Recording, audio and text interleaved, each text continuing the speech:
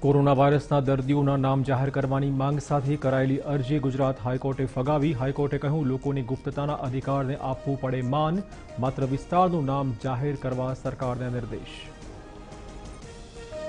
ગોરધન ઝડફિયાની હત્યા કરવા આવેલા sharp શૂટરનો corona report positive ATS અને ક્રાઇમ બ્રાન્ચના ચાળીસ કર્મચારીઓએ થવું પડશે ક્વોરન્ટીન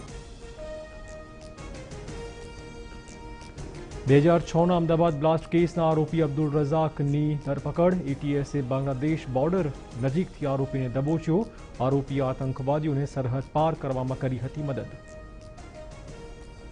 નડિયાદ નગરપાલિકાના પૂર્વ પ્રમુખ અને બિલ્ડર દિલીપ શાહનો આપઘાત માથાના ભાગે ગોળી મારી જીવન ટૂંકાવ્યું આત્મહત્યા પાછળનું કારણ અકબંધ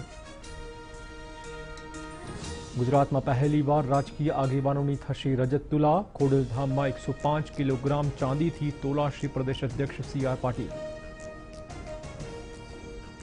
ઉત્તર દક્ષિણ ગુજરાતમાં વરસાદી માહોલ નવસારીના ખેરગામમાં અઢી ઇંચ વરસાદ વલસાડ સુરત બનાસકાંઠાના દાંતામાં પણ બે ઇંચ વરસાદ રાજ્યમાં બાવીસ, ત્રેવીસ ઓગસ્ટે ભારેથી અતિભારે વરસાદની આગાહી. ઉત્તર ગુજરાત, સૌરાષ્ટ્ર કચ્છમાં પડી શકે છે ભારે વરસાદ. બંગાળની ખાડીમાં લો પ્રેશર સર્જાતા બદલાશે વાતાવરણ.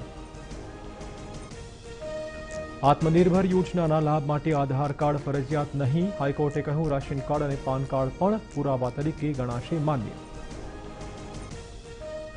દેશમાં સ્વચ્છ શહેરોમાં સુરતે મારી બાજી દેશના સૌથી સ્વચ્છ શહેરોમાં બીજા ક્રમાંકે આવ્યું સુરત સૌથી સ્વચ્છ શહેરમાં પ્રથમ ક્રમાંકે ઇન્દોર ટોપ ટેનમાં ગુજરાતના ત્રણ શહેરો